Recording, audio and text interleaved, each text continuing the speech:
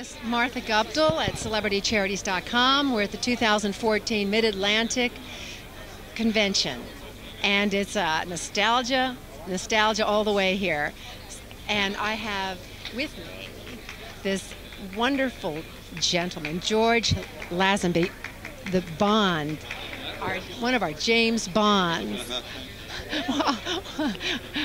on Her Majesty's service, and uh, uh, I, I welcome it. Certainly, actor and model, uh, and I, I do want to ask you at an at. Uh, uh, at what age did, did you start your modeling? And you were the top model in the world. That's for Male model. yeah. Well, that was when I was uh, what, was 24, 25 years old in London. I didn't even know that there was such a thing as a model. But this photographer came in to buy a car and wouldn't buy one unless I did some pictures for him, Oh and that's how I started. My life has been like that uh, throughout. The same with the acting. Uh, a friend of mine had a uh, a date with an agent, and his girlfriend came back into town, so I went out with her. And that's how I started acting. Oh, oh my. Yeah. And and then and then for your your James Bond part, uh, how did that come about? Well, that was it. He, yeah, that was my first role. That was your first role, and then what for, for the actual interview? Uh, what did you what did you do for the interview? Did you dress a certain way, or did Oh you, yeah, uh, yeah. I I, I, w- I went uh, the whole way. I got a Rolex watch, which I already had. I did like James Bond as a movie anyway, and uh, then I got a suit made by his tailor, Sean Connery. Got my hair cut where he got his hair cut, and then rolled up and uh, asked him if they were looking for James Bond. Wow, wow. And now this- the rest Yeah, that's right.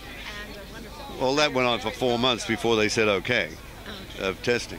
All right, and and then uh, then later, well, you were a top skier, were you not? Uh, not not a top skier. I did win a gold medal in Austria for skiing, but there were a lot better skiers than me who were on the film. Goodness, in Austria. Yeah. I mean, my, uh, that, that's tops too. I've been to Austria, and I oh my, Yeah. those mountains are, are Right. quite something.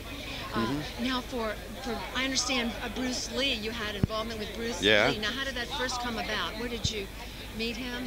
Well, I was uh, sailing for 15 months, and when I came away from sailing broke, I had to look for a job, and the Western film industry wouldn't touch me because the word got out that I was difficult to handle. So I uh, saw that Bruce Lee was the king of the movies at the time, and I went looking for him in uh, Hong Kong. Mm, and he didn't want to see me. And I was standing outside the studio waiting for a bus in a typhoon. of course, it wouldn't come. And uh, and he came by and picked me up and took me to dinner. And it was uh, three days later he passed away. Oh. But we spent three days together. And he gave me money, new suit. So I was back on the road again, thanks to Bruce. And- you did uh, three films, did you? I not? did uh, ended up working for the, his studio. I did three uh, kung fu movies. Kung Fu movies. Mm-hmm. Oh my. Little dialogue, lots of action. Uh, I, I want to ask you: Is there uh, any any person or persons that uh, made the most impression upon you in your life? I mean, that you really looked up to? John Lennon, straight away. The song Imagine. Yes. Um, that is one guy that's hard to top. George Carlin, the com- comedian. Yes. Oh yes. Yeah, I like real people. Absolutely. And I, I, I want to ask: uh, Are there any hobbies or uh, interests that you have uh, besides acting? Well, I was uh, a motocrosser for. I started that at 41. Went on till I was uh, 57.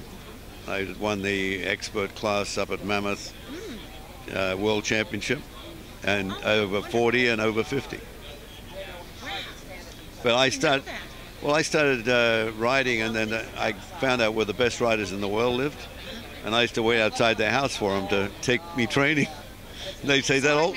They say that old guy's out there again. I was 41. They'll call me an old guy. You're such a smart man. You're so- Nah. Yeah.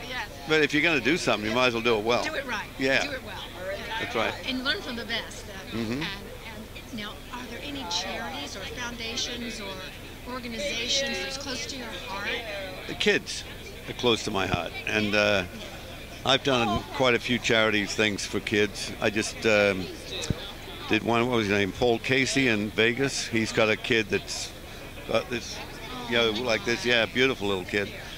And I've I've done twice for him recently, and Children's Hospital. I go and donate blood there, that sort of thing. So I am charitable in a way.